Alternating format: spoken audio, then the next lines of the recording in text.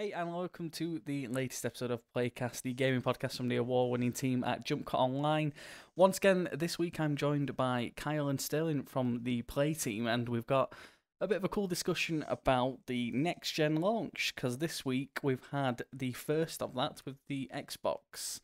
So, guys, Yes. as I've just said before we start recording, few teething issues. Who wants to jump in first? Do you want to kick things off, Sterling?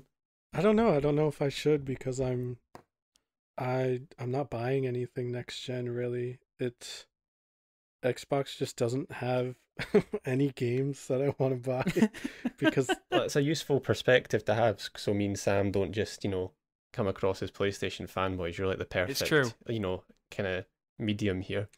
well it's just it's just too expensive like especially in Canada it's it's a hundred dollars more than this like how much is a is the PS5 for you guys it's Four hundred and fifty pounds, which I think yeah, is, for the yeah, for the disc for yeah, version. like, and then three four nine for the digital edition. Yeah, I'm pretty sure it's four ninety nine here. I think, Uh huh. and it's just too much, especially with the Mm. pandemic and everything going on. Nobody have it. Yeah. ag- Yeah, again, course. it's such a weird time for consoles to launch, even even despite the holidays right right around the corner. Mm.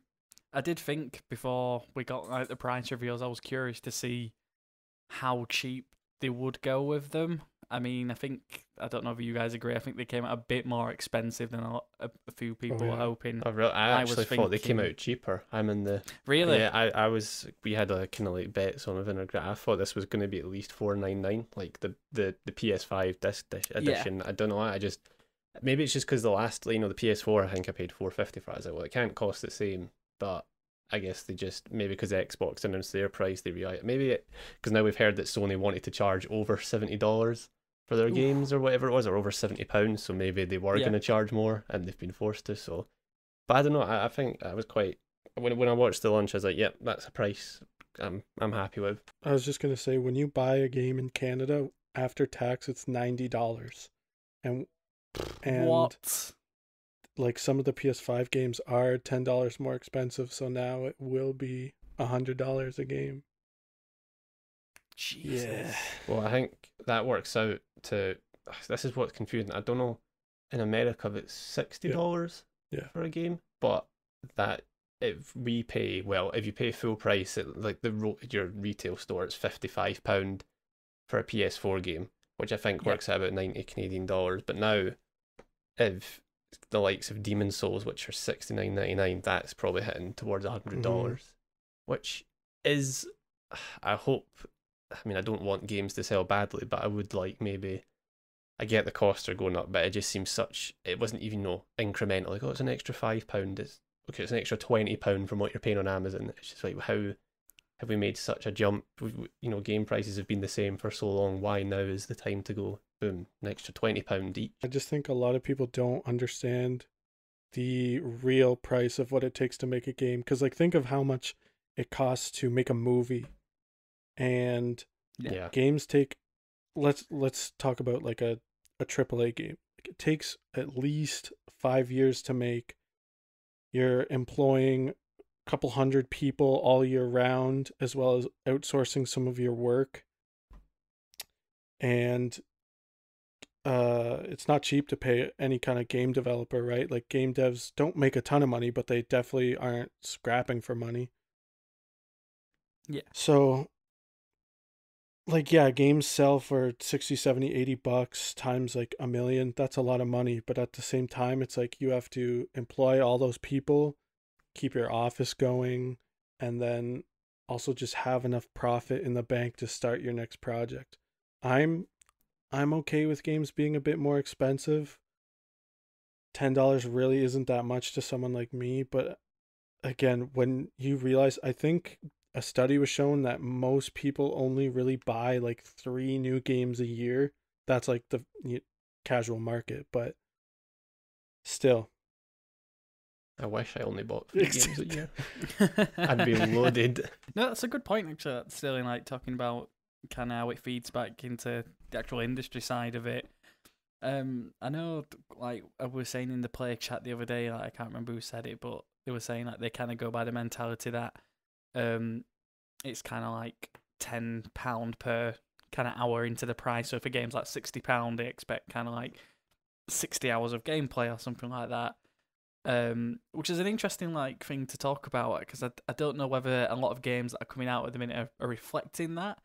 I mean, there's been a few kind of comments this week about Miles Morales in specific because it's I think they've said the campaign is only about 12 hours or something and then maybe 18 hours once you've done all the the side like missions and stuff like that. Do you so there's a bit of do you Go on. agree with that statement though? That is is that how you value your games and your time?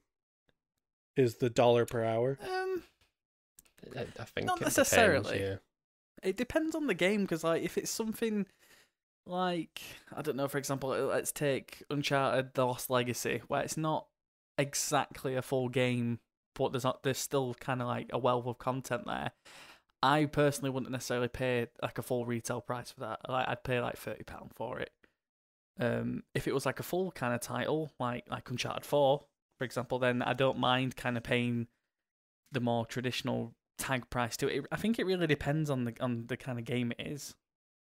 Didn't they Lost Legacy? They, did they not charge a cheaper price than full price? I'm sure. I can't remember. I didn't. I think it pick up. was about thirty or thirty-five Yeah. pound or so instead of about fifty. I think it, it definitely depends on the game because I think like when I bought The Last of Us 2, obviously it's a full price game, but I know like this is a game I'm probably going to play once. It's probably going to last about 10 hours.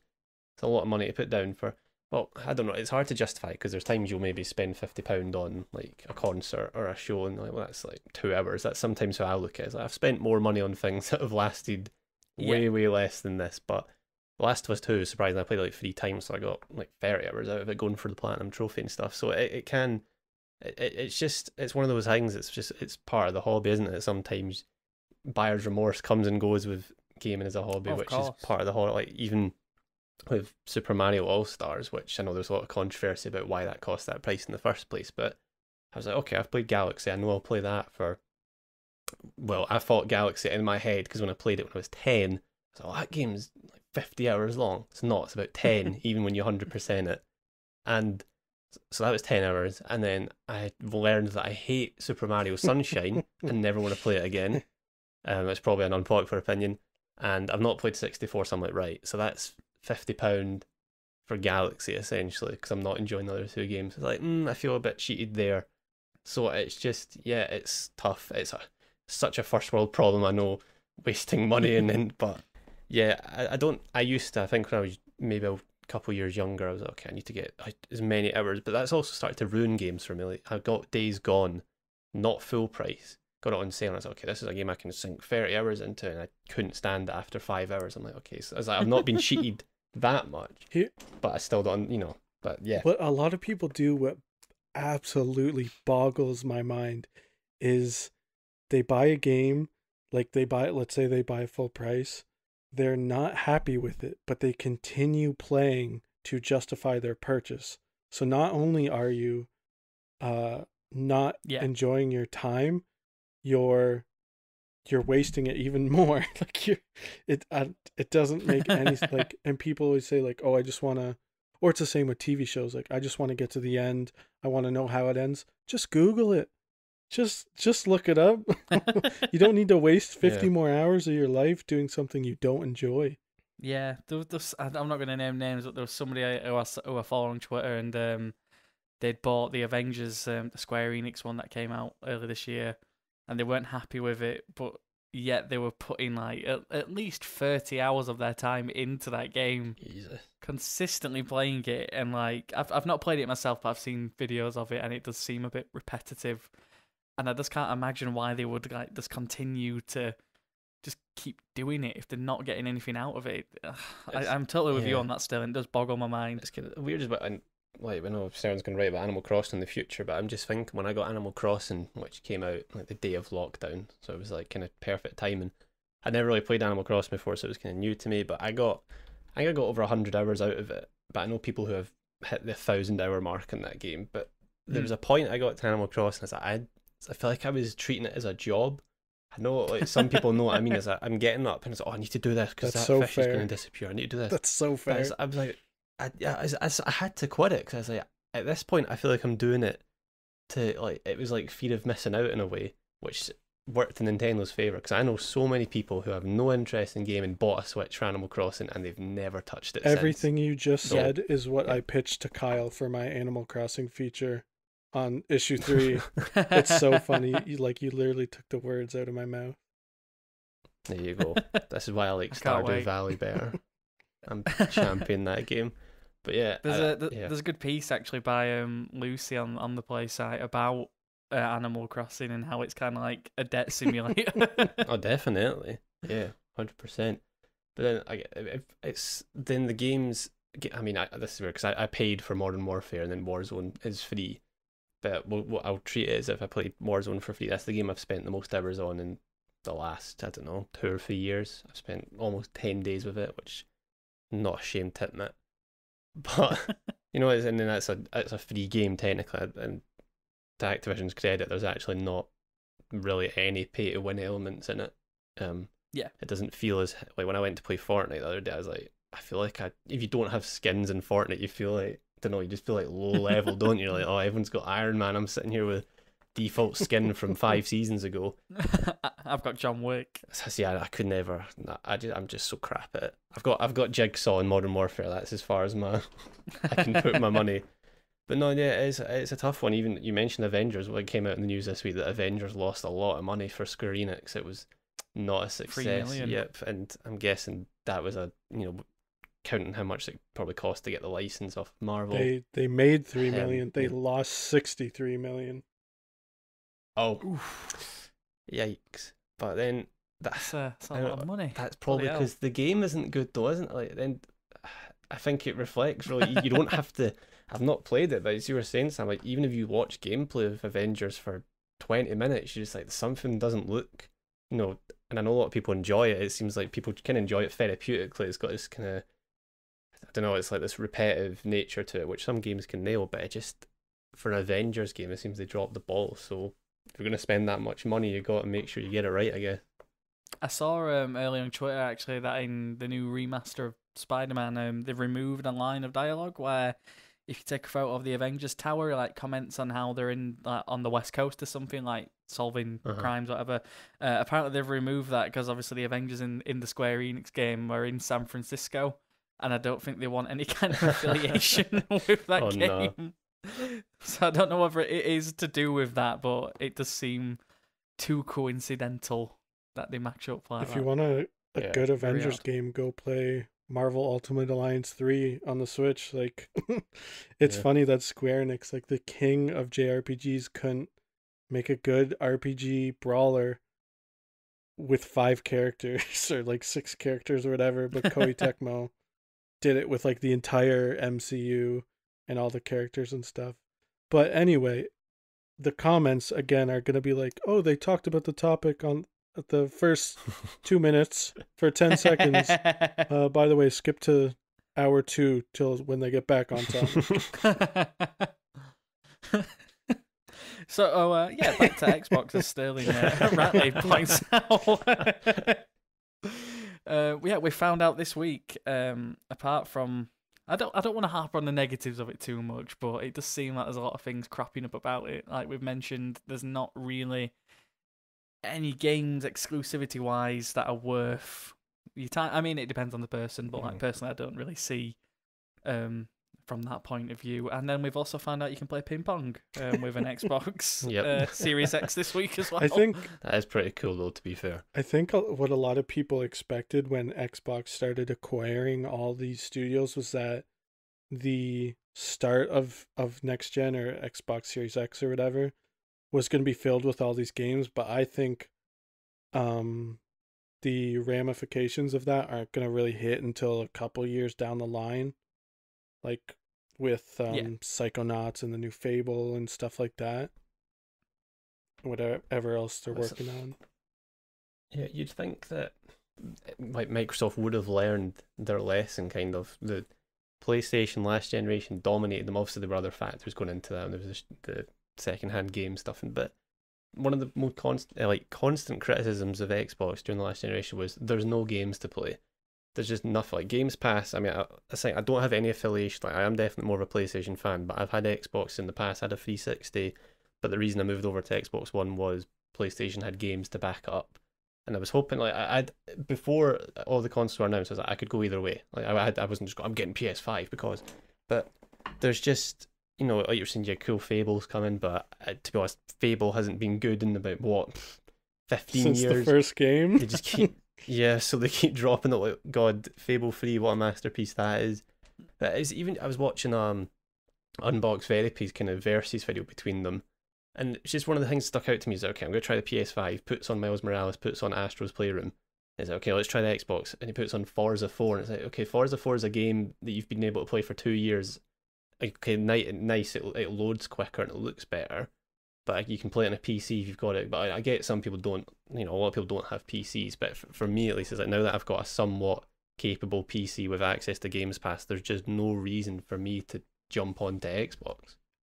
hype is such a like infectious tool game companies can use and the best way to do that is yes people can feel very left out and others can hype up the fact that they have a PS5 or an Xbox Series X but really it, it's the games that people get hyped for. It's like wow everyone is playing Demon Souls right now and I literally cannot play it unless I get a PS5 that's going to that's going to drive Yeah. someone to get a PS5 it, It's the fear of missing out. exactly and and like you said kyle yeah you can play forza 4 or whatever but like it's two years old like it's not new. Nobody's getting hyped over that. Sure people like the the flashy graphics and stuff but that's not it's just not enough and uh, like i used to be such a huge huge xbox fan and i i love the company but it's just they need to do better with games they need to have more exclusives i and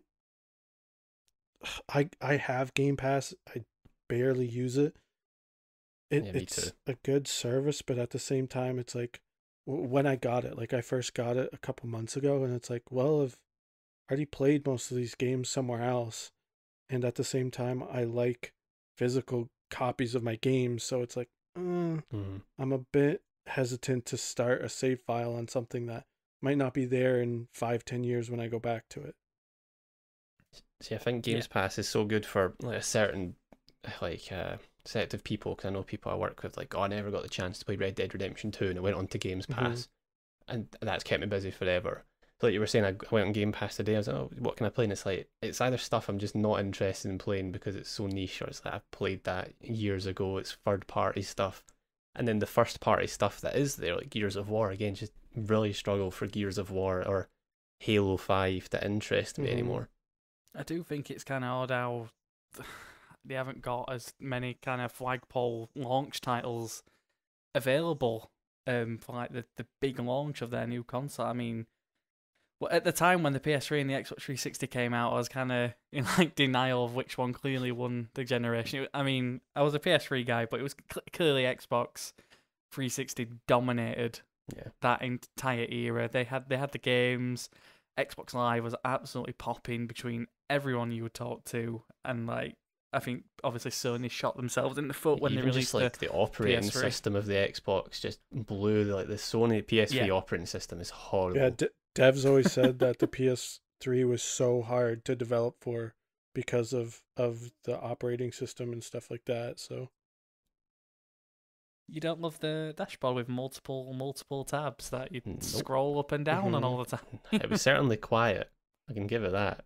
my Xbox became a jet engine, not as bad as my PS4, but I picked up a PS3 at the very end of its life cycle because I was like, I can get it dirt cheap, and I really want to play Metal Gear. So I literally got it to play Metal Gear Solid 4 and Uncharted, and I'm happy I did. I mean, it's a it's a great. it's- I still use PS3s like my Blu-ray player. It's an amazing Blu-ray Yeah. player. It's better than the PS4. But um, yeah, just Xbox were, you know, they were kings in that generation. You just couldn't stop them. So it's it's still a shock that the Sony scraped it back as much as they have. Yeah, I think, like we're saying, a lot of that is down, like not necessarily to the console itself as as oppressive as that might be, but it is down to the launch titles. I mean, still, we're saying you've got Demon Souls remastered coming out. We've touched upon Miles Morales, and th- I'm sure there's more to come as well. Even stuff that you can pick up on other consoles. Bug I mean, snacks. yeah, Bugsnax. Um, and Assassin's Creed has just come out this week as well, and I'm sure a lot of people will be kind of saving that to be like their next um, kind of like first gen game, if you will. So, yeah, I, I think they've kind of got it down in that um, regard. So I am surprised Xbox kind of dropped the ball on it. But um, from what I have seen of the actual console, though, I've been impressed with kind of, kind of a lot of stuff, especially with the Series X rather than the the S. Um, the feature in specific way you can kind of pause the games and move between them. I mean, I don't know whether it's something in actuality that you'll use a lot Hmm. Because I kind of play at one game at a time rather than like jumping between them. So I don't know whether it's something I'd personally use, but it's a cool feature nonetheless and an impressive showcase of the hardware. But uh, yeah, I, d- I just don't want it to seem like we're being too negative about No, no, it's like the I, hate, I hate Xbox. like 'cause I really like my like Sterling was saying Xbox. I think as a company have Sony beat on the terms of communication, how they talk with their fan base. They're so yeah, you know transparent with what they're doing with their console, why they're doing it. Whereas Sony like to keep everything secretive, and they've got like uh, talking back to PlayStation VR. The PlayStation VR situation on PS5 is a complete shit show. That's still like it's only today they've come out like, like this is how it works. Hundred percent. By the way, they've been getting asked for ages. Like, is there going to be PlayStation Vive, PlayStation VR games? And like, we don't know. We're not going to tell you. Like, just tell people so they know of like do I need to sell my headset? Do I want to like you can use your headset, but they won't tell you what capacity until yesterday. They've said um so like Blood and uh, Blood and Truth, which is a PlayStation Four VR game, is getting a PS5 update. That's cool. They need more of that. But I again without you know pushing them down too much. It's for me what's confused the Xbox Series S when it got announced. I was like that's a really good idea. It's like you know really low budget next gen console. And my friend, he traded in. I think he's ex, his original Xbox. Uh, the fucking titles, Xbox One X. He traded that in, and then it, so he got like the Series S for a hundred pound. But I just, for someone like him, so he sent me he's like, oh, it's me ran out of storage, and he's got Halo Master Chief Collection on it, Halo Five, Control, Man of Medan, Assassin's Creed Valhalla. He's out of space. It's like that's that's your next gen gaming machine. Like I just wait. What about uh, apart from the load times and stuff? Like it, that's what you were saying is impressed me the most. Like the loading times on the Series X, especially, are really impressive. I- But it's just not enough. It's like an Xbox 1.25 in a way. I'm not gonna lie. A couple days ago, I I kind of shook my head at the whole load time shtick because I was like, who cares that the load times are fast? Like load times are fast in games now, but I beat Final Fantasy VII Remake on hard mode this weekend, and well the last boss fight against Sephiroth is incredibly hard. There is um a cutscene right before that fight that if you lose you have to s- see it again and then halfway through that fight there is another cutscene and it is faster to watch the cutscenes than it is to press pause and skip them. I was so pissed while doing this boss fight, not because I had to do it like 35 times, but because I had to watch those cutscenes so many times. I hated it. And that's when it clicked for me. I was like, okay, we need faster load times. I get it now. Yeah, I think it's going to be really cool to see in like Spider-Man those Oh, loading yeah. times. uh, I think I still don't know how true this is and how much of this was just it was lucky what they showed, but it was when they showed um going from a warehouse fighting scene, which in the first game you'd go to the warehouse, it would load, and then you would come out the warehouse, it would load again. But then they showed this bit of gameplay where it was practically instantaneous, that there was no loading screen. I'm curious if that was legit or that was just you know something that was in the game. But even outside of that, the loading screens being gone for a game like that is it's cool to see. But in with games like Assassin's Creed Valhalla, although they load up quickly, you've still got to get past the forty seconds of unskippable Ubisoft stuff. Like see, Watch Dogs Legion on the computer takes about a minute and a half to get into the game. Not because it's slow at loading, the loading screen's quick, but you got to get through all these health and safety warnings from Ubisoft, stupid Ubisoft logos, and it's like that's not going to ever be changed by loading screens. I think we're going to see first party games are the real benefit like benefiters of that. It's funny you mentioned Watchers actually, because I was thinking about that um, when loading times. I know you've played it on the PC. Um, I've been playing it on the PS4 at the minute, and I've just got a standard PS4, um, Mhm. not even the slim one like the the OG one. Uh, and the loading times on that are a, it's a bit of a problem. Like you, you start a mission, you get to the location, s- for some reason it's got to load something, and it takes a, a good minute and a half to get into that next bit. And it's like, what what exactly am I waiting for? I'm waiting to get into this next bit so I can run down a corridor or press triangle to open the door and then watch another cutscene. Like, Yeah. It's just it's ridiculous. So I am curious to see stuff like that improved. But like you say, with um actual kind of titles and stuff like that, that that'll never change. Yeah. What what games or what do you think Microsoft has to do?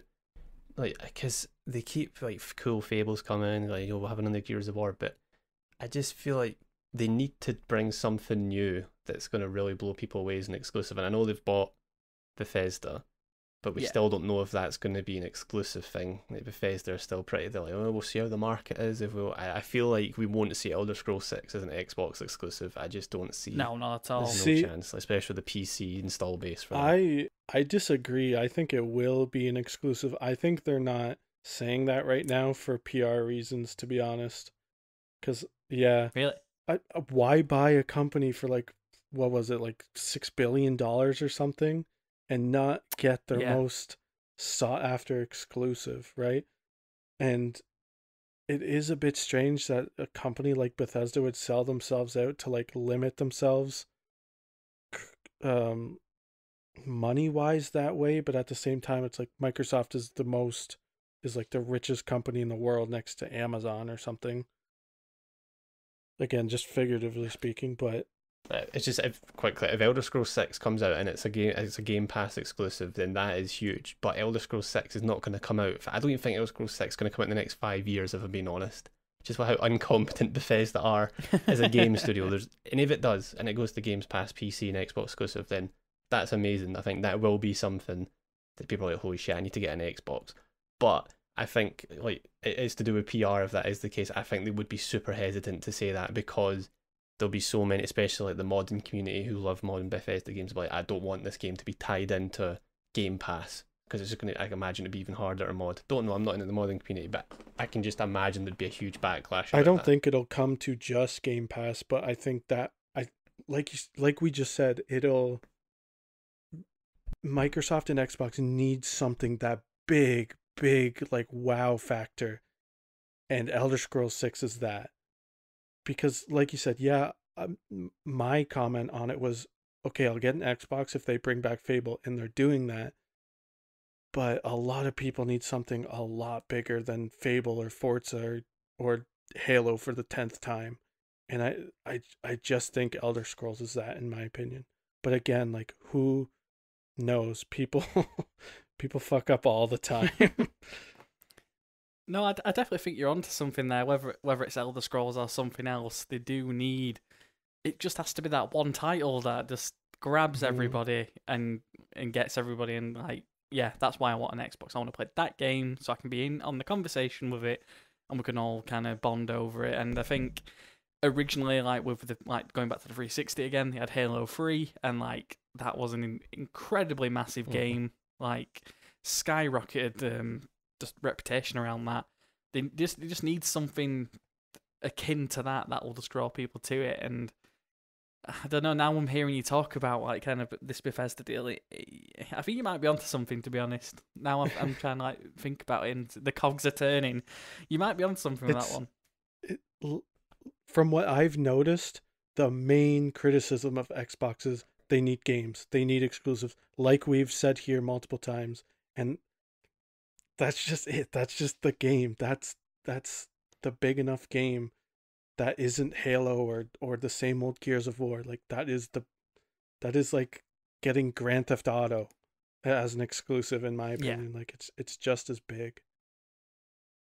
I'm trying to remember. I'm thinking back to when I got my Xbox 360 in 2008, and I think the four games I got at launch were Mirror's Edge, which wasn't an exclusive, Gears of War, which was. I think Dead Rising 1 was an exclusive.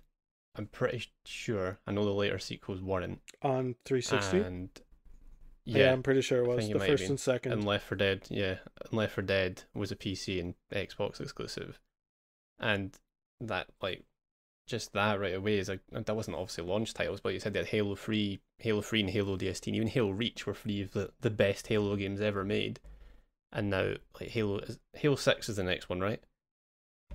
I believe so. Yeah, and that's already Infinite. yeah, it's getting this backlash because it just doesn't. It looks terrible. There's all these people are leaving the team. It's not if it, if Halo Six was a launch title, I think that would have been because you see anytime there's. I mean, I hate like at the end of the day, console wars are stupid. Buy what you like. You know, it doesn't matter what you buy. Buy what makes you happy. But when you see like, oh, I'm buying an Xbox. Why? It's like to play what? I just if you had Halo Six, I think at least like that would be your easy thing to market. It's like Halo Six, you know, just like they did with Halo Three or Halo Infinite, whatever it's called. You know, new Halo game, it's huge. It's gonna be hopefully awesome, and that's why you need to buy an Xbox. But it's like okay, you got Forza again and Gears of War Five. It just Sony. Because it was quite a shock when they're like new Spider Man's a launch title. Because when initially it was just like holiday 2020, and then it later says like it's coming out on launch. So is Demon's Souls. Which I said this in the chat the other day. Like, the, the Spider Man Miles Morales has got to be one of the most solid launch titles quite a long time. Maybe Yeah, for Breath sure. of the Wild as well just comes to mind. That's a a good segue. Well- that Kyle. Nintendo. Um, I just wanted to to point out like um as I was saying about hype before and what Kyle just said, our entire work group chat is stuff like Miles Morales and Demon's Souls and and stuff like that. There's nothing from Xbox because everyone is seeing all these screenshots and this gameplay and they're sharing it and getting pe- other people excited and it's what is driving the conversation and there, I literally we haven't shared like a single game from Xbox in our work group chat. That's it. yeah, and we want I think to. you're exactly yeah, right. we, we want to talk. It's not like oh, get Xbox out of here. Fuck that. It's like No, not at all. we want I, to love- talk about just I'd love to nothing. be able to share but that. it's just the fact that the PlayStation exclusives are there. That like they're just there to Yeah. talk about and Xbox just isn't. Yeah, I mean, I know for a fact in, in our chat, like, there's people who absolutely uh, like going on Halo again. I know Tom, um, he absolutely adores that franchise. I'm sure you guys love it as well. And I bet if that was coming out now or fairly soon for for the new Xbox, like, we'd be spamming the hell out of that in the chat yeah. and kind of reminiscing about old times on those games. So yeah, I think I think you're exactly right on that. It's just it's word of mouth, and especially in this kind of day and age where everything's digital and that's how we communicate. It it has to have that drive. And Spider Man and Demon's Souls, especially Spider Man, like just people just getting excited about the animations as he swings and stuff like that. Yeah, it's like that. Like, that clip that's all it sent, takes. It's just like that thirty second clips. Like that's so simple. It's just, but how like that? I can't. No, it's when I got The Last of Us Two. I was like, oh, I can't wait to experience the story of The Last of Us Two. But like Spider Man's, like, I can't wait to play it. Like just swing about and have fun with it. It's which was the same. I'm surprised I'm excited as I am because I've got the first one sitting there. I was well, I could go play it, but no, it's not the same. I need PS5, but. Uh, just b- before we move on to Nintendo, I think because there's always a lot of debate if you know people are oh, exclusives or you know people don't like exclusives because it segregates the market. But it's like exclusives are ultimately they're there to create competition. It's just Microsoft Exactly. their yeah like their fight and that they don't want it. But I'm sure they do. But Sony are like surprised Sony are going as hard as ours. like okay, here's God of War, Spider Man, Last of Us. Even their last year, Final Fantasy 16. the generation. Exactly. I know Final Fantasy Seven remakes is coming out. I, I I'm sure it's getting an Xbox release next year. I know it was only a timed exclusive, but by that point as well, it's like the kind of dust has settled with Final Fantasy Seven remake. People are ready to play the next one. It's just, and that's only that's in the last year alone. Like four amazing games. Exclusives matter, and I'm just it's a shame that Microsoft maybe that's going to change. Maybe this they just want to get the consoles out there and focus on that. But um, yeah, I just hope the approach changes because I, I'd, l- I mean, if I could afford it down the line, I'd be happy to. Because I kept thinking about getting an Xbox this whole generation. Yeah. Every generation, I'm like, I usually pick up whatever console I didn't get near the end. I had the Xbox 360, picked up the PS3 at the end. But it's just, I kept thinking about it. I was like, oh, it's on deal. It's only £100 for digital edition. It's like, what? I, there was just nothing I wanted to play in it apart from Xbox 360 games, which I've got a working 360. But Um, I did say to my partner like I was tempted by the Series S just because of the price point. It's Yeah. really competitive for like what you're getting. I know the hardware's a a little bit of a downgrade compared to the main one, whereas kind of I don't mean to toot their own horn again, but with the PS5, Yeah. with the, the the digital version, you're getting the exact same hardware just without a disc drive. Yeah. But um, I was tempted by the Series S, and I was tempted to try something new. But um, yeah, I just I, I really hope Microsoft can get a bit more wow factor, as Sterling said earlier, just in the next couple of months, because I'd really like to see some big things from them, especially with the potential of um, working with like the EA pass that they've got as Mm. well, uh, and the best, the the Bethesda deal. I just really hope they just. I just need something from them. That's all I need. Just as a small, tiny comment that can definitely be greatly dissected is that Xbox needs to break into the Japanese market and work with Japanese developers because that was like their main falter with the Xbox 360. Like, there's been tons of articles done and documentaries about how Xbox fucked up their opportunity in the Japanese market back then. But again, that's it. That's all I want to say. One more side note Kyle mentioned earlier about uh, how transparent Xbox is and how uh, non transparent PlayStation was being with VR. I think that needs to be a whole discussion on another episode because, man, could I go on about transparency with game developers forever. I think it's a huge issue. Like Kyle said, they knew if they're making PS5 VR games by a week ago, okay? They knew. They just didn't want to Yeah. say. I think we can definitely touch upon that later when we jump onto as a other topic. but before we do that, going back to Kyle's segue, Nintendo. Where are they in the middle of all this? I mean, I know we've got the Switch and everything. I don't know whether this is true, but I read a few weeks ago that uh, allegedly working on what is being dubbed as a Switch. That Pro? rumor has been going on literally since like the Yeah. first half year the Switch was out. So- I know it's been circulating a lot, but um, I don't know. I feel like with the new generation kind of launching, whether there is a bit of kind of ground to that, I don't know. Did you also read the? I, I read somewhere that Nintendo treated the Switch as a last gen console or something. It was like because I don't know. I, I like they consider it as you know this was the PS3, the Xbox, or no, sorry, or it was like it was an in between. It wasn't part of this generation, which is weird because everyone thinks of the Switch, PS4, and uh, Xbox One, but they were Yeah. considering it as like, I guess the Wii U. They just pretend didn't exist, which fair enough. But I don't know if a Switch Pro came out, because especially with the the original Switch is still full price and it's been out for what almost four years or something. You've still got to pay full price, but I think if they make a Switch Pro, it's going to be difficult for. I mean, it'll be. I don't know. Just because if you release a game, is it going to be an exclusive to Switch Pro? Is it going to be the case Yeah. of like PS4 Pros and it just has certain enhancements? Because I was hate to have to try and get rid of my Switch already because they're giving up on it, which would be. I don't think they will because the install base for the Switch is insane. It'll I I project it'll outsell the the Wii, honestly. Really? Yeah, uh I th- it just it just outsold the Game Boy. Next is the DS. All right. Do you both have Switches? Oh yeah. I used to have the Switch Lite. Um, I only got rid of it because when I was moving out, I needed like the money and stuff Hmm. like just to obviously save up. But um, I, I tell you what, like I, the Switch, I am really impressed by it. I think I do think it's a fantastic console for what it offers, and I feel like it's always been that kind of Nintendo thing. It is a very inclusive console as well. It's kind of all kind of like age groups.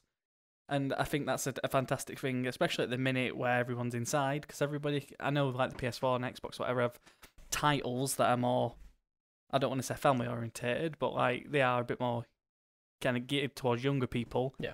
But um, the the Switch for sure is definitely an inclusive console, and I think like at the minute, uh, it's a great time to be to have that console because everyone can just get together and play your kind of classic games like your Mario Kart and stuff like that, and then I think the Switch has also been kind of a, a big hit with independent developers as well. Like there's tons of titles in that market that you can get on the Switch. But Nintendo. Oh, sorry, Nico Sterling. Um what you said about it being more family oriented, I think their first party titles absolutely, but that was the biggest criticism for Nintendo for years and especially especially Yeah. with the Wii U is like, okay, these are all we're just getting first party family oriented games. Where are the more serious stuff? Where's the third party support? And I think the Switch will continue to do well and and defy expectations because they basically built upon every kind of criticism they've gotten besides like their online service and their infrastructure. they definitely have not fixed that. But even just from the Wii to the Switch, like okay, the console gimmick is fantastic. Like the the Wii U gamepad sucked, but the portability of the Switch is amazing. They have amazing third party titles. They are knocking it out of the park with with first party and a lot of series are getting like revitalized and a lot of people are are playing this and playing online despite the infrastructure. Like even this year with stuff like The Last of Us and Final Fantasy 7 and, and all the great exclusives, Animal Crossing has just dominated. Like dominated. It, it it uh it's been out for what six six months and it's and it's less than a million away from being the best selling game on Switch, beating out Mario Kart. Jesus. Yeah, it's insane. But and now, Nintendo kind of like they've Heaven keeps getting on to them because there's they've got nothing in the pipeline now. Though they've went really quiet. You're still getting your third party stuff, and we've got no more Heroes free in the way, and we're still seeing if Metroid's gonna ever come. But they've just kind of after Animal Crossing, which they've just went kind of radio silent, and that's why I guess the rumor mill does keep going. So oh, they must be working on a pro, is it? Or they're just letting things kind of settle because they don't need to do anything. Yeah, I mean, if if they're kind of comfortable at the moment, then I don't see why um they they would exactly feel the need to kind of push it a bit further. But they could be working on stuff in the background. But um, I am curious to see where they will sit as we kind of dig into the PS5 and the Xbox, new Xboxes um, further down the line in, in a year's time or so. I'm curious to see where they will sit in kind of the pantheon of like the next generation because, like you say, they, they do have the titles, and Sterling makes a great point as well. Like they used to get criticised um, for being a bit more um, too family orientated, and now they've kind of branched out and they've got the other titles. Like I never thought in my life I'd be playing Doom on a Nintendo console, but um, they are ripping people apart on a Switch at one o'clock in the morning. But um, yeah, I, am I'm, I'm really curious to see where they're gonna sit. I just uh, I'm not sure what they'll do because as Sterling like points out I, as well as you both point out. Sorry, what ahead. are they uh, what are they actually up to? um, no, I think it it not to say it doesn't matter what the competition is doing, but they just do their own thing. Like Nintendo's always just done their own thing. Next gen for PlayStation and and Xbox has always been about upgrading and and being pretty and and having all these flashy yeah. games, but Nintendo has never focused on on hardware and and being flashy and being pretty. Like a lot of their games still run at like 720p or 1080p. Meanwhile, 4K is becoming like the standard base. Um, and again, this this doesn't.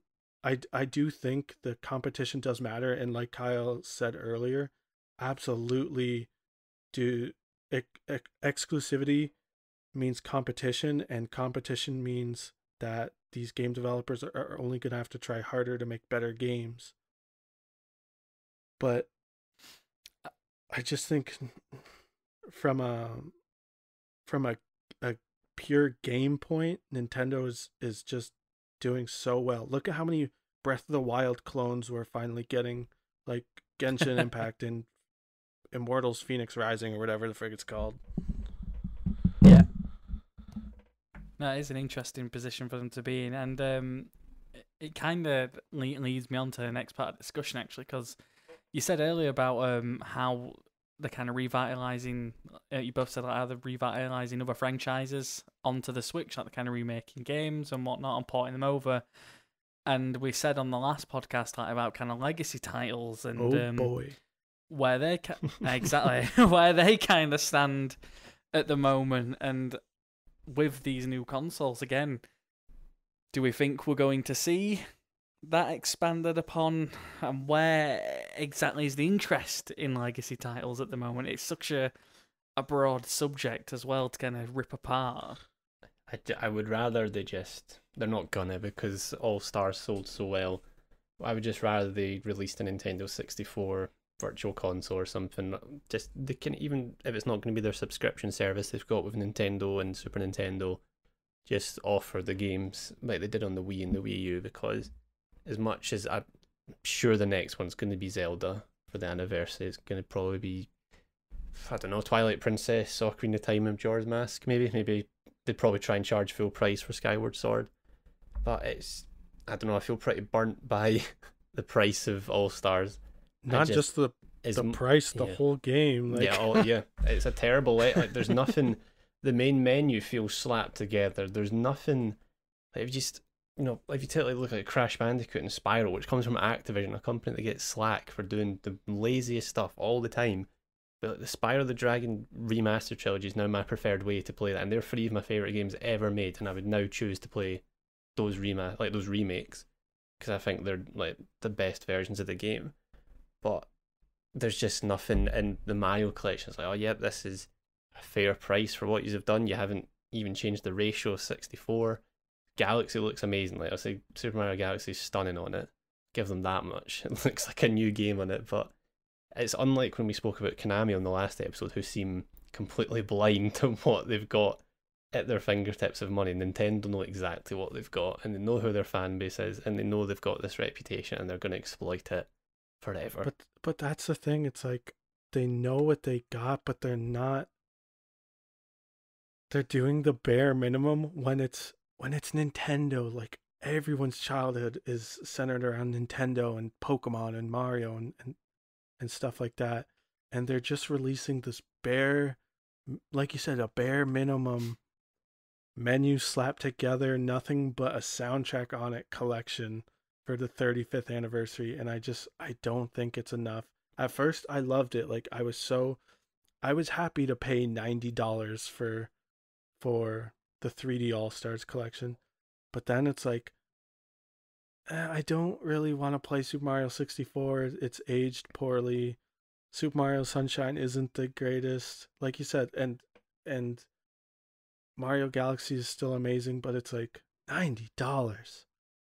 yeah, Yes, it's it's amazing that you can play these games in handheld mode and you don't have to buy all these old consoles and, and stuff like that for to play these old games but it's ugh, ugh just such a disappointment but it seems I like could feel the disdain in yeah, this. I'm just like I'm looking like what HD. I'm looking at my like game collection, like what HD collection I paid for in the past, and it's like paid for like Kingdom Hearts 1.5 and 2. Point whatever the fuck it is. Even they never came out at such a ridiculous price, and th- th- they're they weren't remakes, but they were full, you know, upscaled. They looked like Kingdom Hearts 2 still looks great for its age, and it's why is such why are they getting away with it? And that's another thing with the Switch. Like I know they've they've and Nintendo have quite a good relationship with Square Enix. Like, where are the rest of these ports? Where is Kingdom Hearts Collection? That's a game that would be perfect on the Switch, and it's just not there. But we've got the Rhythm game coming out. It's like what? Why is that the only Kingdom Hearts game we're getting on the Switch? Because you can take my money. I've I've already bought Final Fantasy seven and ten for the twentieth time. So give me like the Kingdom Hearts all in one package. You know, buy it again. But I don't know. It's and then it's the t- the other tough thing is with games. So for example, like um, Bioshock Collection just came out I think this year on the Switch, but that's a Hmm. game you can get on your PS4 for five pound. And I imagine it's probably quite cheap for you as well. So it's probably like ten dollars or something. It's on Mhm. sale.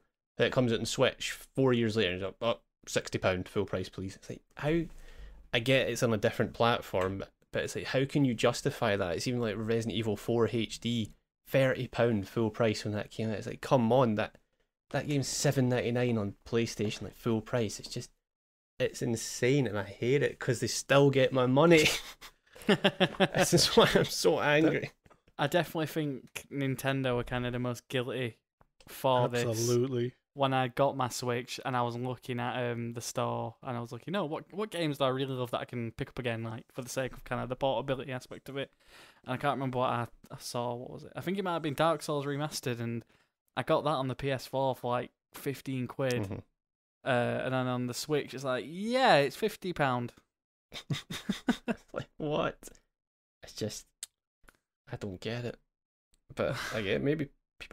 You can get the Kingdom Hearts all in. I'm sorry, I'm just gonna keep going with this. Kingdom Hearts all in one package. That is every single Kingdom Hearts game ever made for twenty five pound on the PlayStation Four. what the fuck? If that was on Switch, it'd be like Banger three value. hundred dollars. I know it's because I know that probably is going to come out and Switch, and it's gonna. It's, I wouldn't be shocked if it's more than sixty. It would not surprise me. Like, yeah, this is we get nine games, uh, 120 pounds for that, please. I'm like, yep, cool, sounds like a good deal. It's like, I just, I can't take it anymore. I can't.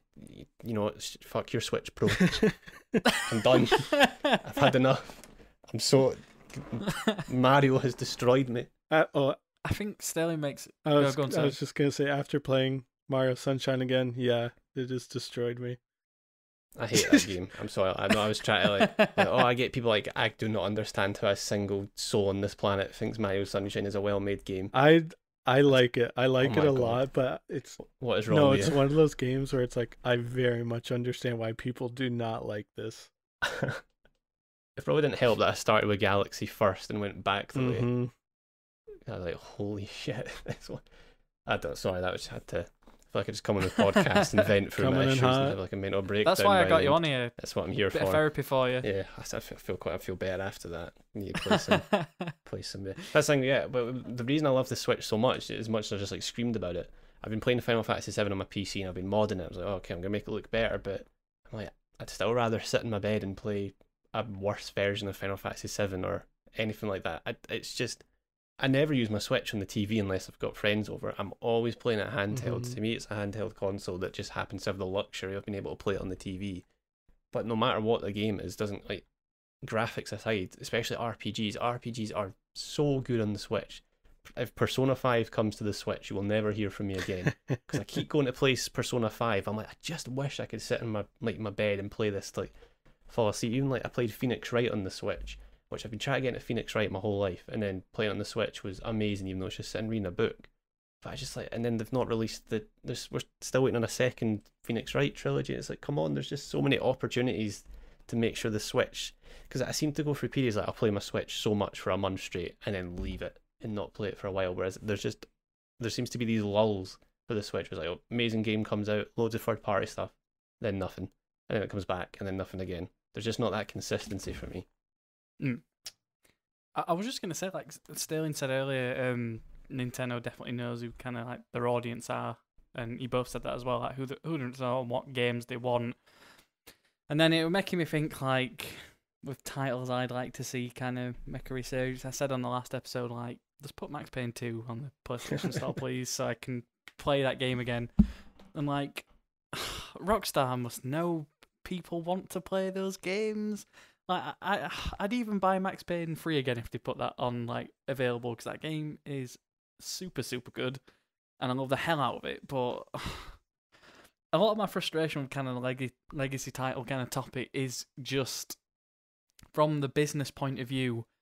I don't get how they're not looking at their fan bases and seeing the kind of outcry and the profitability from it to release these titles. I mean, it's it's, it's a weird example to use, but like the kind of the, the whole Snyder Cut thing, Mm-hmm. you had whether you like you're into that thing or not, on where you stand on Zack Snyder, but like the demand for that was incredible, and it took like four years for it to happen, but they did listen, and now Zack Snyder's got eighty million dollars in his pocket to shoot new material and finish off this film that was supposed to come out Brilliant. um years ago. So Um, I, I don't know. I, I I see that and think, does that mentality apply to games as well?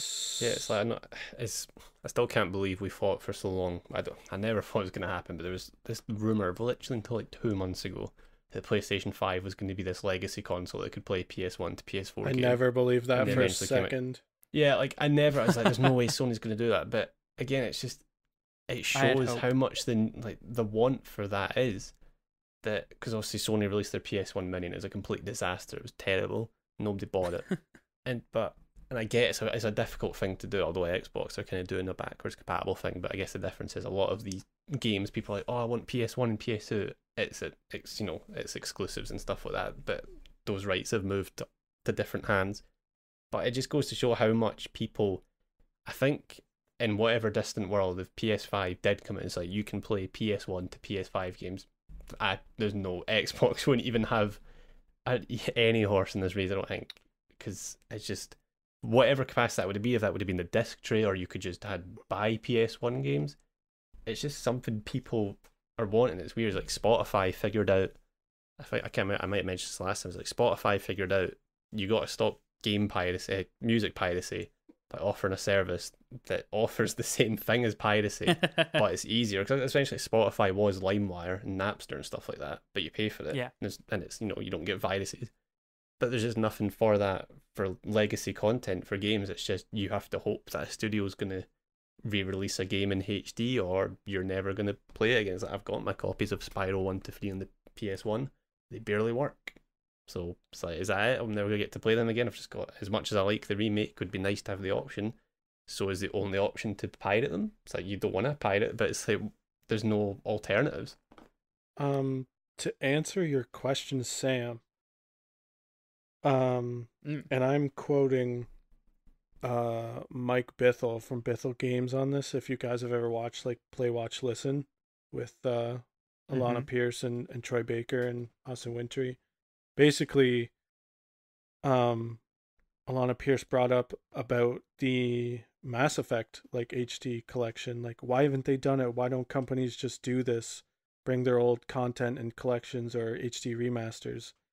And because he's a game developer, Mike Bithell said basically game developers would rather take the gamble of doing something new or creating like a Mass Effect 4, which they haven't, um, so that they can get more profit of it because basically from these HD collections, other than something like um, the Mario 3D All Stars, they don't always sell incredibly well. They usually obviously make profit and and um, are good for the company, but they'd rather make like a hundred million dollars than twenty five million dollars by taking the safe road. And boy, do I ever think that's wrong. And I, I, I just think it, it's backwards and and I don't know. That's my opinion. Yeah, it's like, I I don't want to have to Yeah. keep my PS3 and my PS2 forever Exactly. and take up space. But I just like there's I love like sometimes you got to boot up Dog's Life on the PS2. Like sometimes that's just got to happen. Is Dog's Life 2 ever going to get remastered? Absolutely not. It's not going to happen unless I'd pay money for that. Yep. I'd, I'd, I would legit buy Yeah, Devil's let's Life start the remaster. movement. Maybe it will. I'm gonna probably like shoot myself in the foot saying that. Eventually, it'll be like when they did Shaq Fu remaster. I was like, yeah, let's, let's do Dog's Life for some reason. But I don't know. now just- you can yeah. use the shitty mechanic in 60 frames per play it in second. VR. be the dog. But yeah, it's just I, I, I, I don't know. I don't want to have to keep, which is the one reason if I got an Xbox One, I was like, yeah, I don't have to keep my Xbox 360 where it is anymore. I can get rid of it. Yeah. Like, I can put it away in storage or whatever. But it's like, nope, I still have to. Thankfully, I can get rid of the PS4, which is, I don't like saying that in front of it. It's probably getting quite upset and knows its week's coming. it's going to be gone soon. But I know I cleaned it earlier. Cleaned it. oh, bless. Got got the cotton buds out as well. Went in all That's the like taking your dog for a long car ride before you have to put him down. yeah, I'm gonna play the shout of Warzone next Wednesday night until it's at the point of about to explode, and I'm like, there you go, you, you can now go. And then, yeah, but yeah, that's sorry, I took that conversation completely off tangent. Basically, what I'm saying is, I just want to play old games all the time, but Yeah. Um, it's weird because Yeah. we were just saying how new games are the reason consoles win. So yeah, it's weird because we were saying Xbox don't have anything going for it, but they do have that. They they've got legacy content in a way. You know, you can play Halo One still. Look at that. We've come full circle. I know. Look, see, we told you we liked Xbox. You just had to wait. You just had to get. We all had to go through therapy. see, had to have a bit of a breakdown. I don't mean to take over, but I wrote down a bunch of comments or or talking points that I wanted to bring up because I know you guys are gonna have have um good good opinions or comments on it. Let's but do this. um, so with Nintendo and and definitely Zelda games get more updated ports than something like Mario, and with Mm. um, even with Link's Awakening, the the remake of it. So the the company that makes this game is called Grezzo, and like I've said, they've done most of the Zelda ports like on 3DS and stuff. I think more developers need to needs to have these relationships with other developers. So, um, don't buy out the company or something like that, but find a, a, a studio who's willing to remake or remaster your games because of again, if I was a developer and Nintendo came up to me and they're like, "Hey, can you just work on an HD remaster of of Ocarina of Time for the Switch?" Who's not going to drop what they're doing and and work on that, right? Yeah. And then it means that um the team at Nintendo doesn't have to take away any resources from new games they're working on, even though it doesn't even take that many resources as as far as I know, like uh, from what I've looked at. Um and also what a lot of studios do is they usually try to make an internal team of people who just work on this, but then because crunch culture is so bad, they always take the people off it to work on the new game anyway and it always gets like sidelined. But sorry, yeah, on you go. Sorry. no, I was just gonna say, like, do you guys agree? Do you disagree? Like, d- does it present any problems? Because uh, uh, with writing, even with like articles and stuff, it's like I get very possessive of my writing, and and some people might might not be comfortable giving an entire game or IP to a second studio and just being like, hey, just work on it. No, I think that's Yeah. definitely a good a good thing. I mean, as soon as you said it, like the first thing that came to my mind as of as of recently, um, was was Activision and Vicarious Yeah. Visions with the um the Tony Hawk remaster, which I think was was fantastic. Because they fantastic. had Crash before that, didn't they? Yeah, they did, and um, I didn't really play play much of the the Crash um, not the racing one anyway. I played a bit They're of the both uh, great. Yeah, but um the, the Tony Hawk remaster I've sunk quite a like a lot of an embarrassing amount of time into since that came out. Because I'm I'm I'm a bit of a of a whore for the Tony Hawk. I really want. I hope Underground and one, one and two are the next ones. oh my I- I- god, I- don't! Tony Hawk's Underground 2 is like m- my favorite of the entire franchise, and I still have my PS2 disc from 2003, and it still works. and But that'd be so I. I, and I've got um I don't know if you've heard of it. Um, have you heard of THUG Pro on the PC? I've got that as well, so I can go play that on like the big screen and everything. Oh, uh, Tony Hawk's another podcast. I am obsessed with skating games and everything. But yeah, I definitely think it's a good thing to have those relationships, especially if it real if it leads to those kind of fruitful projects like Tony Hawk, where the developers and the team working at clearly have that passion. Like, for example, they went back and found the original code that Neversoft used for the engine, and they had to tweak it a bit, obviously, to update it. But the fact they went back and actually thought, you know what, Pro Skater Five was a pretty dog shit. Yep. Let's save this franchise. so yeah, I, I think it's great if if people are doing it, and I'd I'd personally like to see more of that. Well, it's like even Sony have now got this with they've had it for a while with Bluepoint.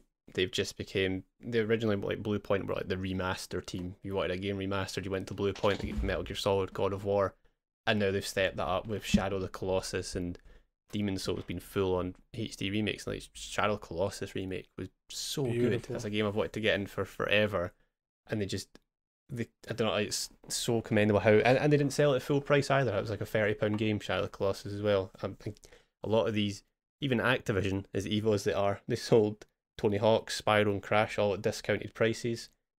Like half, it was almost like just over half price. Unlike you know Nintendo, where they're charging full price, even other companies stuff like that. But yeah, it's I think like Bluepoint, they've realised this is what I'm sure they would be good at making original content, but they're amazing at taking remaster stuff, kind of like Vicarious Visions as well. And even like um Toys for Bob, who did the Spyro trilogy, they've now been given Crash 4, and it seems they're going to take.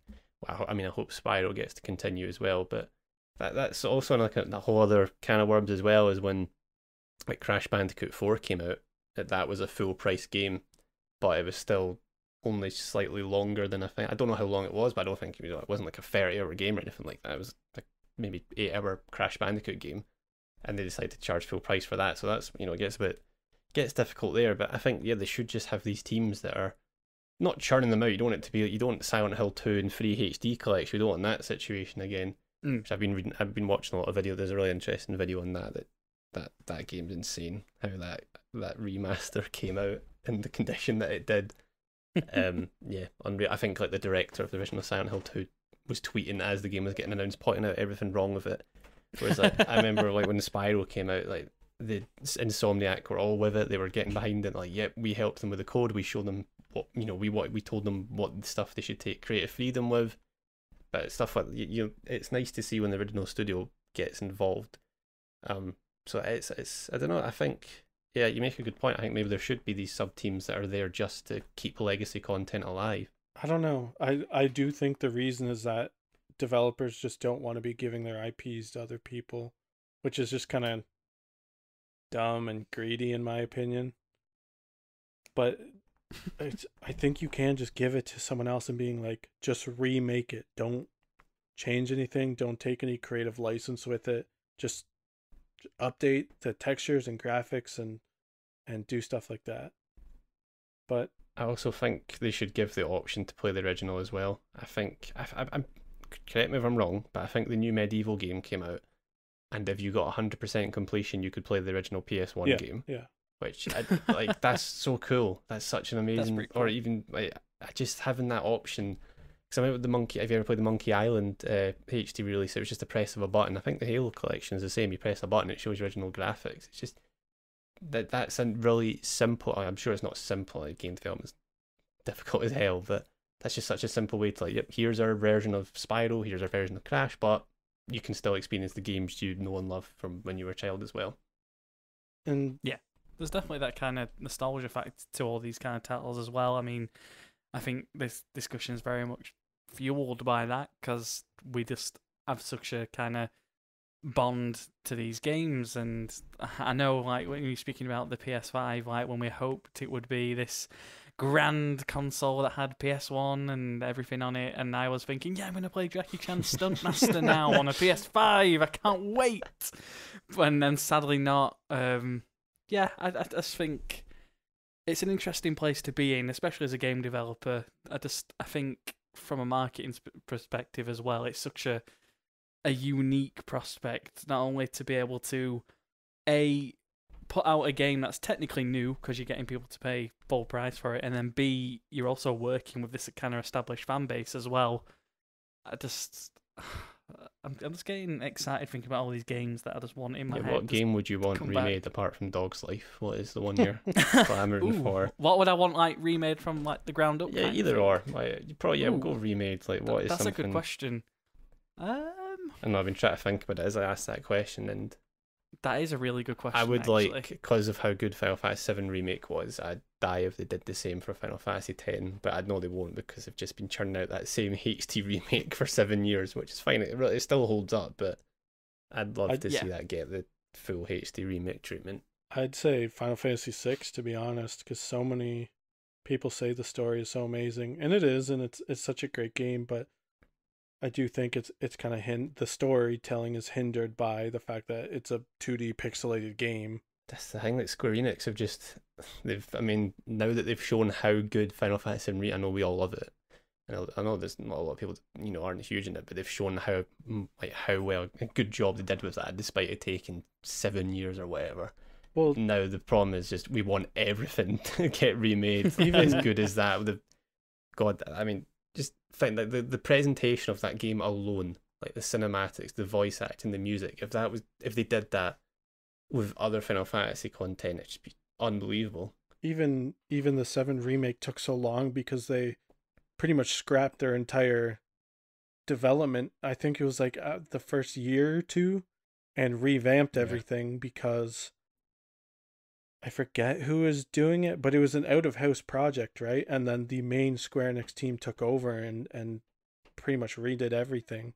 I think um, just coming back to what you said, then Carl, what game would I like remade? Um, I mentioned Max Payne 3, and I don't know whether this would take the nuance out of it, but if they remade the first game, but on that engine, I know Remedy obviously had the kind of control with the first two games, and then Rockstar kind of uh, handled the third one on Did their you mean that pun? Control. Maybe. Just had to check. but yeah, I, I don't know whether it would take the nuance out of it, but if they remade the first Max Payne on that engine for the third game and you had the kind of uh, movement style of that in there, uh, I'd be curious to see that. But again, it's a, that's that is a risky line to play 'cause I Mhm. think the Ma- the first Max Payne game as it is is fantastic, and I think the the reason it works so well is because it's got that kind of heightened John Woo esque style to it, whereas Max Payne 3 is a bit more realistic and I'd, I'd say it's like the probably the closest thing you can get to like a John Wick game. I Yeah, think I think the gunplay feels very much in that wheelhouse. I think the tough thing with that would be as well. Like, I think the easy scapegoat for if people didn't like the Final Fantasy VII remake is you can easily go, cool, if the original's still there, and the original Final Fantasy Seven is one of the easiest games to get access of. It is on everything. So Yeah. if the Final Fantasy Ten remake came out, and I hated it, it's like that's fine. They tried something new, I didn't like it, but then like you're saying, Max Payne one and two and three, they're harder games to get a hold of now. So if they remake Yeah. that and they, you know, they just don't get the feel of it right, they maybe don't nail the style. That's kind of what you're stuck with now. I think in Max Payne 3 there was kind of a taste for that original game vibe when um the chapter where you do I don't know if you play you both played it, but the chapter where, great. yeah the chapter where you go back to New York and uh, it's like a flashback sequence like I think you get the kind of grit of the first game in there Yeah. and that's kind of like what I'm thinking in my head like you just get the taste for it and yeah like if it hasn't come across or any past two episodes I just really love Max Payne Max Payne really 3 like to see awesome. I forgot how good that, that game was. franchise to return please Yeah, please. please, Rockstar, stop making money on GTA 5 for five if you, minutes. If you're not going to make a sequel to that, then make a sequel to to Canis Canem Edit or yes, Bully, please, as it's known please, in please, other please, please. regions. Please, please. Yeah, but I don't know. I just want, yeah. I know we kind of. Although this conversation might have feel felt like it has went off topic, but in a way, like we were saying, it, it kind of it's not because I feel like it's the next. It's gonna get worse in a way because they're not gonna re-release these games that have because the PS4 the last couple of years has been remaster after remaster. They're not gonna release them again by the time we get to like the generation after this. No, not at all. yeah, are we going to be in the same situation again because there's still no legacy platform? It's just all going to keep being regurgitated unless they decide, like, right, we need to make this content accessible. But- You watch in five years' time, it'll be like, here's Metal Gear Solid 5, The Phantom Pain, remastered. God. Woohoo! We've finished story content. That's the thing though. We're only talking about like these super popular games that get ported, like Final Fantasy VII, Resident Evil 4, Skyrim. There's so many games Yeah. just lost to history, and it like the game companies are basically they're th- well. First of all, they don't even acknowledge it, right? They don't talk about their legacy content. They're always focusing on the new stuff for marketing and, and PR and stuff like that. But it's just so cumbersome that they want us to go and find these old games and then find the old consoles to go play them on and set that up and maybe you have to buy a CRT TV to play the games or get an adapter. Yeah. It's just it's so much work rather than hey, can you just can you just port this game? Like you don't have to change anything, you don't have to revamp the graphics.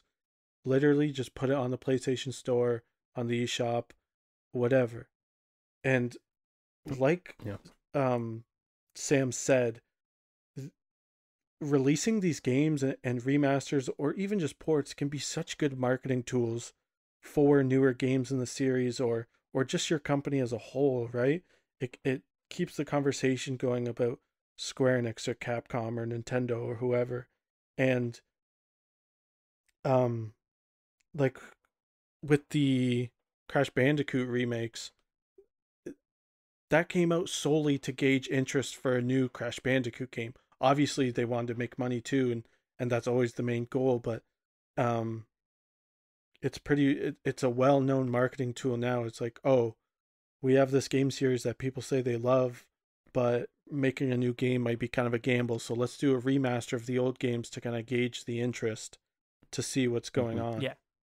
And um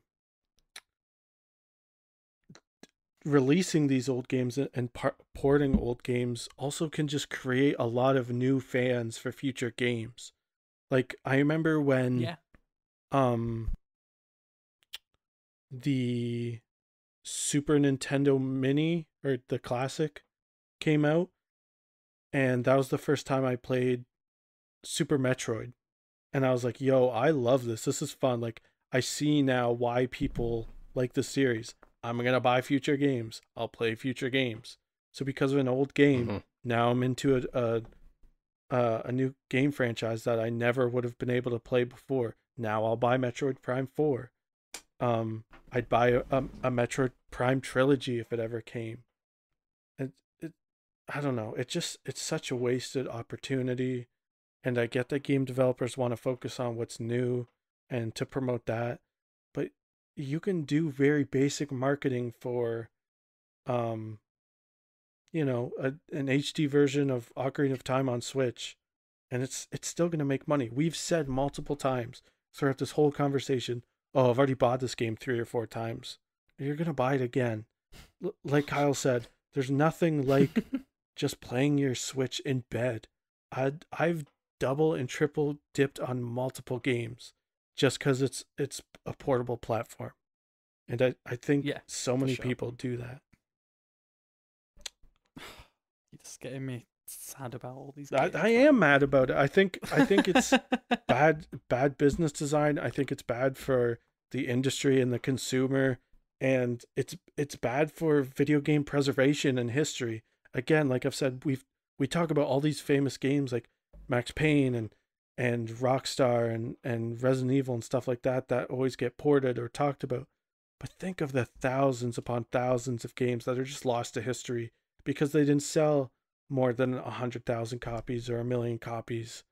Like all these classics that people have played but they're not widely known and they're never gonna get ported again and and um that's it, they're gone. They're only really there Yeah. because of the internet and and memory. yeah, it's super sad, and like you think as well, like these teams and people that have worked on them, and you can imagine at the time when they're working, like they're thinking like this is such a cool thing that I'm doing right now, and I'm I'm, I'm the intent with everything like in any medium like film, music, TV, anything. The the intent is always there. Like I, I really hope people connect with this on like a personal level and in, in te- entertainment level. And it is sad that there's these all these titles that aren't necessarily the the bigger kind of temple ones that are being lost. And uh, thankfully, in kind of like the age we're in now, we can kind of preserve that, even if it's not necessarily playing them, but kind of the existence of them on the internet. And there's people like us that talk about them and write about them and stuff. But it is extremely sad that um they just aren't available. It's like um Kylie said on the last episode um with film archiving like it's such a huge thing in America like to preserve all these reels of, of classic cinema and stuff like that and we just don't have that for games. It's it's such an odd like place to be in. It's like the Spyro trilogy when that got announced. Like I can't. Sh- I think that's the most excited I'd ever been about a game getting announced in my life. It's, but it's like, why? I shouldn't be excited about a game that's getting remastered of a game from the nineties. It was just, Nos- That- nostalgia. just that game's so important. Yeah, that game's so important to me, and I mean that franchise died pretty hard after Insomniac bailed, but it was just so awesome to see. Because I know people who are now like Spyro fans, and that's the first time they played it, and they loved it, and then they like they never played it as a kid, and it still holds up. And like as you're saying, like it is a nostalgia aspect. You get to play, and like, oh my god, this is it with a new coat of paint. But it's still just like these games, for the most part, are a lot of the times they're still good. Like I know we're saying like Mario 64 doesn't hold up maybe that well, but it's still a pretty great game Mhm. if you can get past its shortcomings. Same like Ocarina of Time, that's still a really solid game. So many of these games are still dog's life. I'm joking, but this is gonna sound insane, but um, so it's one of like the best selling games on the PS1 when it came out. But Harry Potter and the Philosopher's Stone or the Sorcerer's Oh Stone my the God. PS1. Flipendo. It's I, like, I've been championing the meme culture of that game for about ten years, and now it's ran. even the, the official Sony Twitter tweeted the photo of Hagrid. Like I've got a poster of PS1 Hagrid on my wall. I've I've been doing this for a long time, Sony. Don't steal my thunder. But it's just even games like that. I play that every year because I think it's like the funniest thing ever. Like it's it's not even it's a pretty good game. Like, it's all right, Kyle's it's just, like- some He's like, I'm not saying I should get royalties, but I'd expect a check in the mail every Yeah. now and then. yeah. Come, come on, JK it's weird Rowling. that um you mentioned Philosopher's Stone. Actually, I'm not saying I've been emulating it. I do own the game though. If people, if too. the FBI are listening to me, I own the game. But uh, I may have been emulating it uh, at the minute and enjoying uh, Filcher's cat catching me trying to use the invisibility cloak in the library. I can complete it in under an hour now. That's my What? Yeah, I was trying. Like, there's a way to complete it in half an hour, but it's this. You have to do this skip that's really hard to pull off, and I can't do it. But an hour, I can stick with an hour. is pretty good. But he's, yeah, have you played this game? yeah, you need to play it, please. No, uh, I'm sorry, but Right, next time we do a stream, we're gonna s- s- either me or Sam will stream it, I- and we'll I'll watch. I can't believe we've had this whole conversation and Sam just brought it up, but emulation. Literally, people will break the law to play these old games. And e- even after the fact that they own them, just because it's easier to play them that Mhm. way. And Yeah. and obviously, these companies are in their uh, legal right and and moral right to to say it's illegal and to crack down on stuff like that. And I'm sure companies like Nintendo don't want people to emulate Super Mario 64 because they want to re-release it again to the public, so we'll buy it for the fifth time. But like we said, there's so many games out there that have just been lost to history besides the fact that you can emulate them now because so many dedicated people um work on things like this and, and to preserving the history of video games and and things like that because so many developers just don't. They're so focused on new or what's popular that they don't really even if the fan base is small that's still um people who love your company and love a product you make. Games don't make syndication like films or tv once you have a, a game or a series that's stagnant it does nothing. It, it it doesn't make you any money. That's why after so many years horizon zero dawn is released on pc because sure it'll make some some sales when it goes on sale it'll make some money but it's mostly just sitting there not really doing anything and i just think it's wrong i think and again i think it's losing companies money Yeah, you're spot on. Like, I, I, for me, I, I've I've emulated Harry Potter on the PS One as well. As, as stupid as an example it is, like I think it's quite relevant. It's like me and Sam both own that copy, but We do. it's ten times easier to play it on the computer, especially even for like streaming purposes and stuff like that. Like obviously you can't really fault the original like the PS2 or the PS1 for not being able to stream that easily, but it's just people we don't emulate because you're like I'm gonna break the law, I'm gonna be a badass. Like you don't have a choice. It's like okay, I want to play Harry Potter on the PS1 because it's a masterpiece, but my PS2 is 20 years old and barely works. But but genuinely, if that so if you couldn't emulate that game, you you wouldn't ever. That's it. You would never play Harry Potter on the PS1 ever again. That's it. And that's a crime in itself. but- That's the real crime. it's just insane though, and you like when you say it out loud. Like if you said that with a film, like, uh, okay, Back to the Future came out in 1985, but uh, we've not DVD players. We updated them since then. There's no way to watch that anymore. Sorry, like it's just insane. but that's spot video on games have not had that. Think of how fucking crazy that is. Like, imagine if somebody said that, like, oh, we again we don't have DVDs, so y- Lord of the Rings is just lost. It's just gone to history. Oh I would God. kill someone. I would literally kill someone. They'd have to remake it. Like No, just every ten years. don't- like, oh, we gotta remake it again. Don't even joke about that. but it, like it's so true though. It's like it's like a weird analogy, but it's like it's the same thing. There's just not this. I mean, video games have been here a long enough time now that this stuff needs to start getting taken seriously. We're we're gonna keep developing the stuff. It's like, you know what? Maybe maybe the PS5 should be able to play PS1 to PS3 games. Maybe that's not as stupid as it is to suspect that.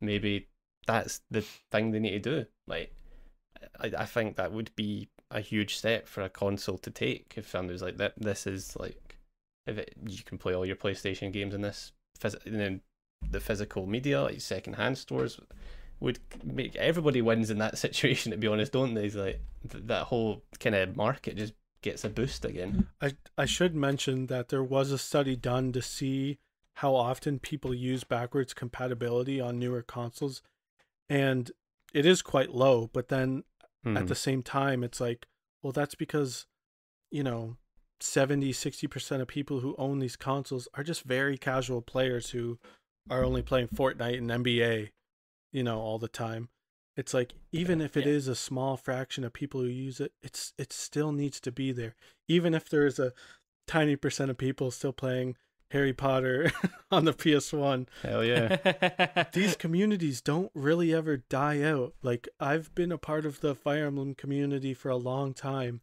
and the love for the older games has only grown and grown as these series have have evolved.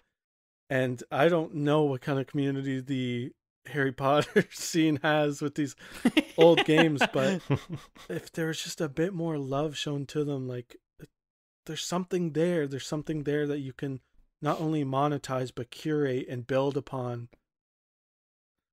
I'm just I'm just getting sad that- to be honest. I think me and Kyle need to take it upon ourselves to expand upon the Quidditch mini game can in I- the PS1. can I just so we make can it add known, a by the multiplayer way, to it. before you before you mention that uh, Harry Potter and the Philosopher's Stone sold more copies on the PS1 than Tomb Raider, Tomb Raider 2, Crash Bandicoot, and Metal Gear Solid.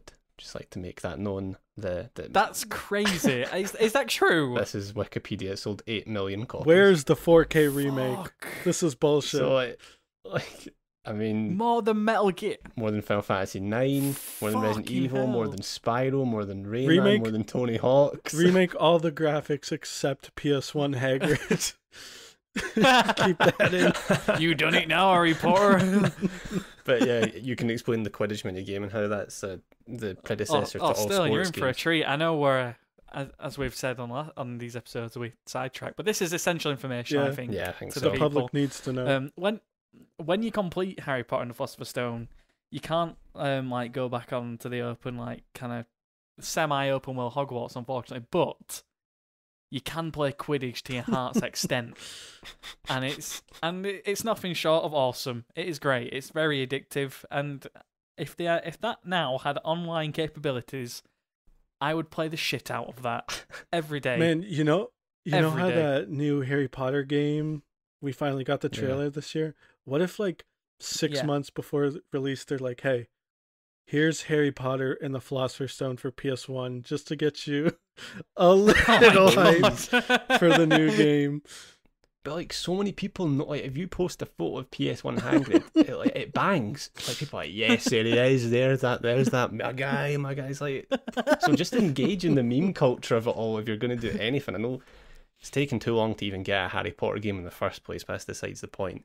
But I mean, I don't- we we discussed it a little Yeah. bit the the new Harry Potter game when it was announced, and it's kind of it's it's an odd topic at the minute, just with um news surrounding a certain creator of that franchise, who we we don't need to name. Harry Potter. but, um, Harry Dan- Potter, yeah. But yeah, like holy shit! Like if if that new Harry Potter game has, because I'm guessing it's gonna have online capability and people can team up and wander around Hogwarts and stuff like that.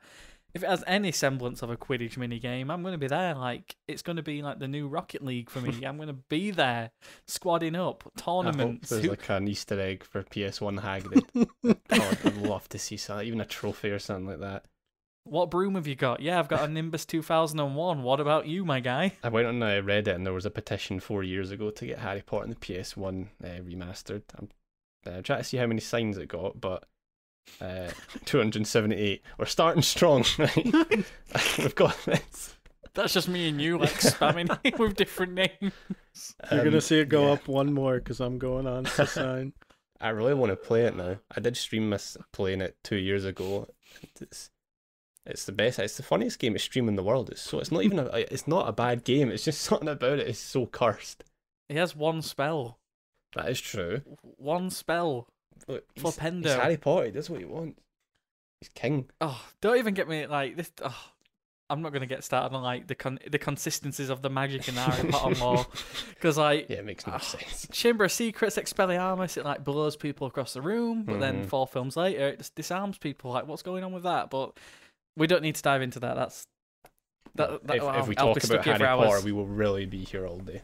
I can promise you. that. Next episode is just gonna be called PS1 Hagrid.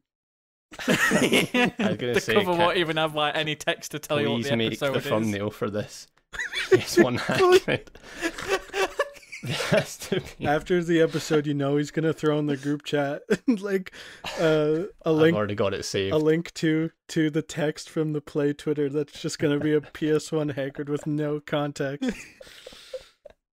I'm not saying that that might be the artwork now, and it might appear in the chat later. I'm not saying that. the title will be Next Gen Consoles and Legacy Content. PS1 Hagrid. Oh man, I think uh, with this little sidestep, it's a good time as ever to kind of give us closing thoughts on uh, the topics we've discussed so far, and uh, with legacy titles. Um, where I kind of stand with it is, similar to what, what we've we've both said. It's just it's a shame that companies aren't capitalizing on it, and there are these games being lost to time that should be preserved. And it's even sadder now, was like you said, Kyle's we're going to the new generation that they are going to get forgotten again, and it's only going to be games from the last generation rather that are going to see these remasters rather than like quote unquote older games, and it is a shame. So Games that sold well I don't too, know. not just yeah, not just games that were on the last platform. Yeah.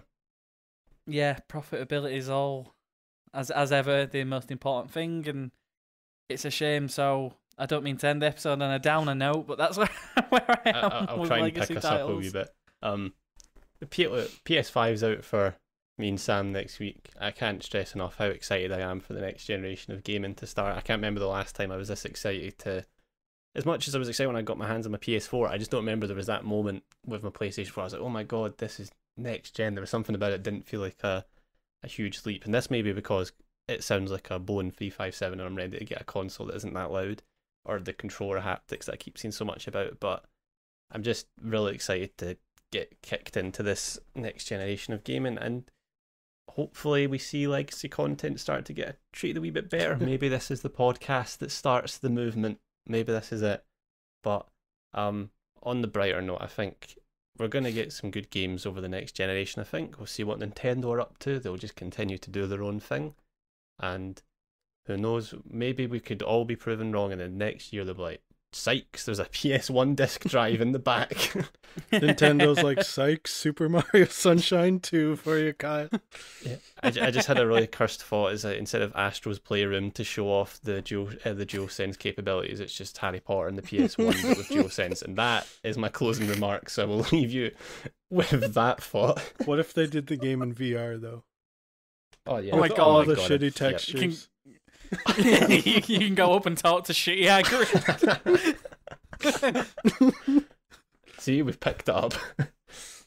Oh, oh my god, it's just it's just that one image. It's iconic. You d- you done it now, Harry Potter. I need to go to Diagon Alley and get me some fire seeds for an orbit.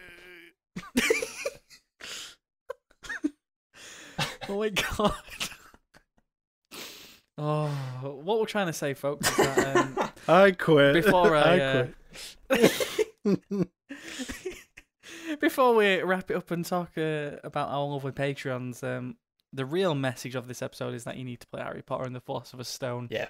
Uh, however, where you can, we're not endorsing illegal means, but um, if you can, We're endorsing a you own the VR game- version. Sign Yeah. the petition. we are endorsing the VR version. Those, there's 280 signatures on it currently right now. But yeah, before we go, um, as ever with uh, Jumpcast and Playcast, our patrons get a lovely shout out and get our lovely Ryan Gosling tiers as well. So this is for the Only God subscribe tiers. Uh, we've got Chris Wilson, Let There Be Light Productions, Zoe Baines, Darryl Griffiths, Sam Luck, Ola Smith, Peter Hodgkins, Andy Meakin, Fabiona Rossas, Hamish Calvert, and Martin Richmond. We really appreciate your support. And if you do want to head over to our Patreon, if you aren't subscribed, um, if you subscribe at any tier, you get every issue of Jump Cut magazine um, for free. And we've got issue three on the way, as we've mentioned in this episode. A lot of cool things coming up with that. But um, before we do wrap up the I review, to have anything you want to plug, anything you want to shout out? Just Harry Potter.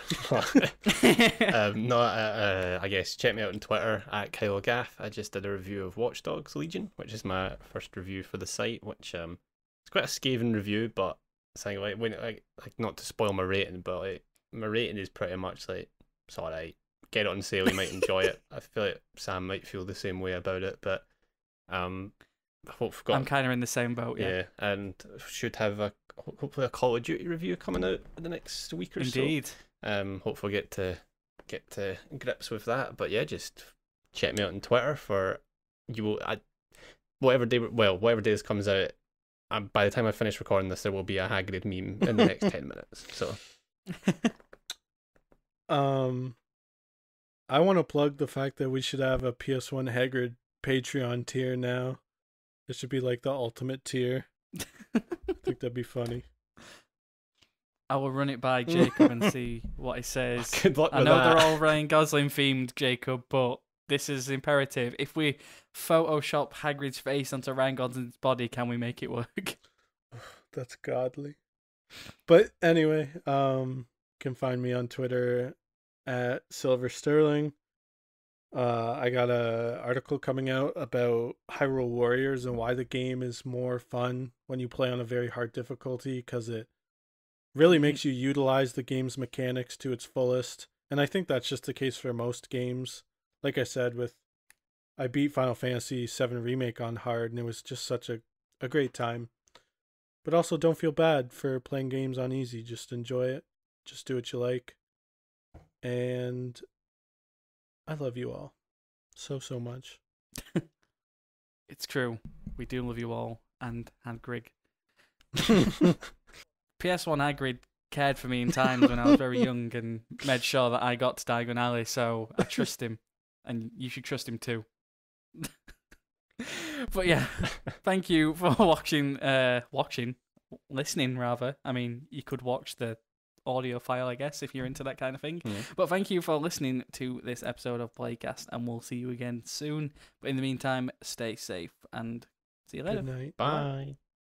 Bye.